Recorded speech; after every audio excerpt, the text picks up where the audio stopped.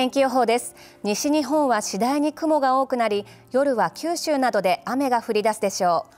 東海や関東はだいたい晴れて日差しが暖かく感じられそうです。北海道は夜から再び雪の強まるところがあるでしょう。週間予報です。明日は大阪や福岡では朝まで雨が降りますが日中は天気が回復する見込みです。